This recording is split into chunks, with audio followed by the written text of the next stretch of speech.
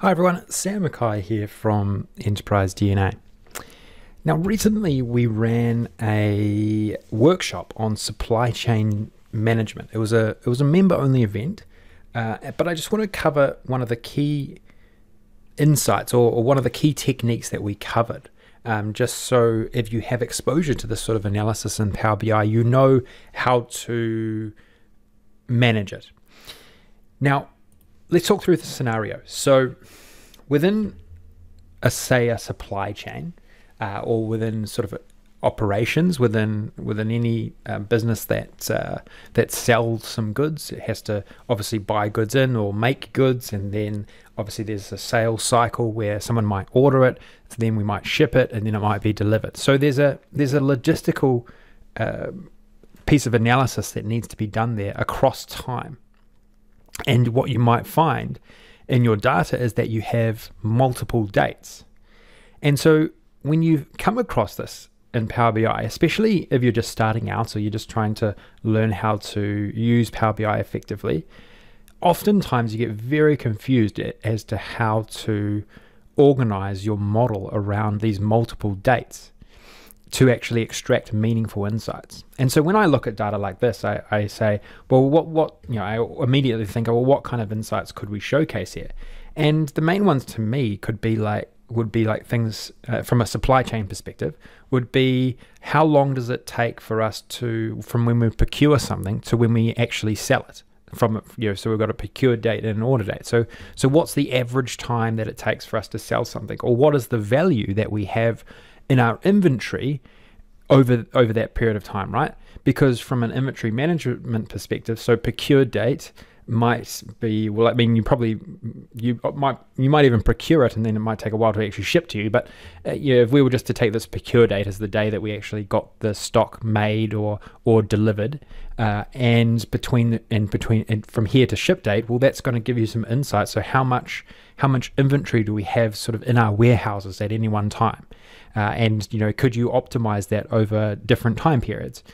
Then we also could have well, how much inventory do we have between what's been ordered but uh, before to, to its be, to its delivery date. So how much is in transition, and so some more good insights there as well, right? Now the key here is how do we manage that? How do we get to these insights? And it's a combination of a of a model, the right modeling techniques, and also the right formula techniques. It's very difficult to do one uh, to get the results you want with only one of those things right.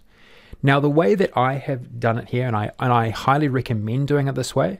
I've I've gone between a couple of different techniques over time of how to do this, and I have always now landed back on you always just want to keep things simple with one date table, in my view. And if you want those sort of insights um, across time, across those different dates, or managing across different dates, what you want to do is you want to create inactive relationships down to your fact table.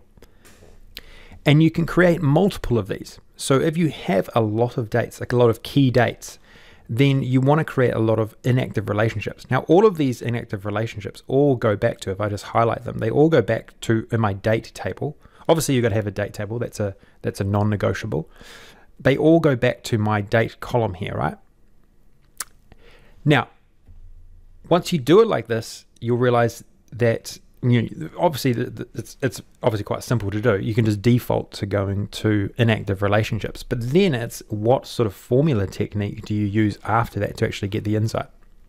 Okay, and that's sort of what we we we spend a lot of time covering in the session and the work in the full workshop. You can actually access a, a, a replay of the full workshop if you like on our education platform, so Enterprise DNA Online um, definitely check that out. It's it's in the scenario method workshops module. But what we did was we obviously we started off by building out our core measures. So that's what I always put in my key measures folder here.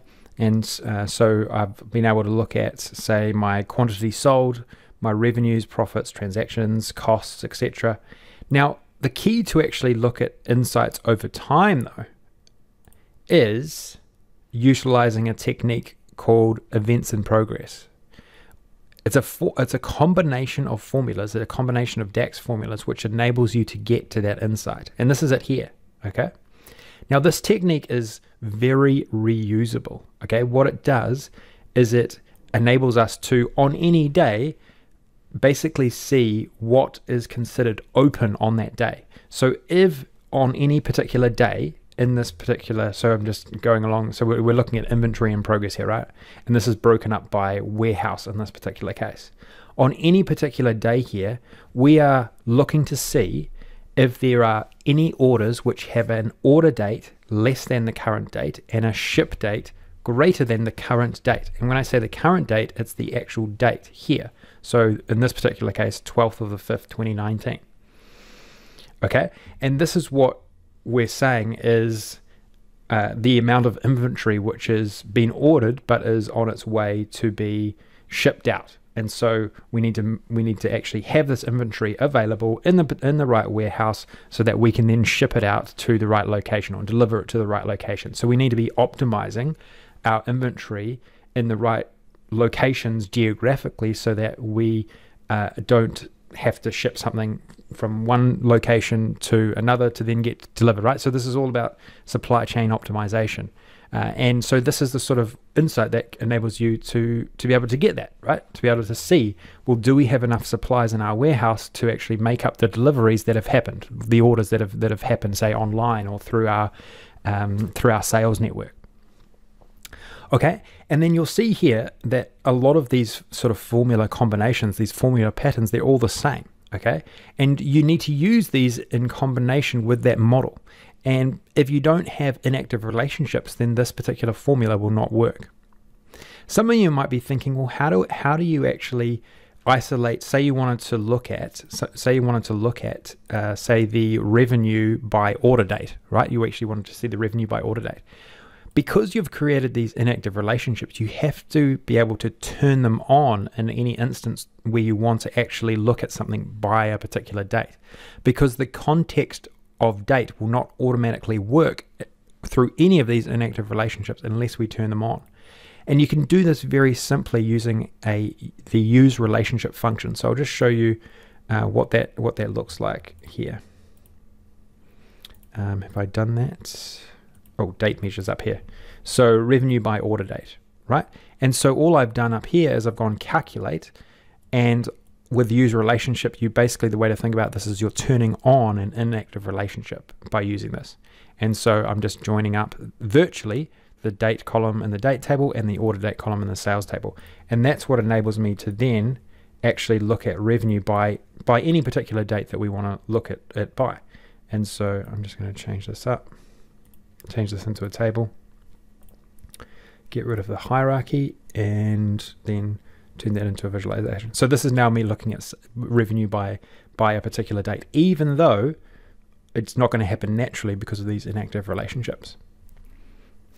And then obviously this is always this is dynamic, right? So say when I want to have a look at a particular warehouse and I can see here, well, how much inventory do we have in um, open at any one time? Right? That and remember inventory that is been ordered and needs to be shipped at any one time. And so this number could could dramatically change over time depending on what season we're in, for example. And that's another good thing. You know, you, you, this this is probably not a static number, right? It's not a not a not an even number. It's going to have it's going to ebb and flow, and that's where time intelligence can come in um, really effectively as well. Uh, built on top of this technique, we can branch out into time intelligence techniques. Um, but that's for another video. I just wanted to show in this one really highlight the technique around how you manage this. You know, it's it's it's perfect for a, a supply chain demo operational type um, analysis.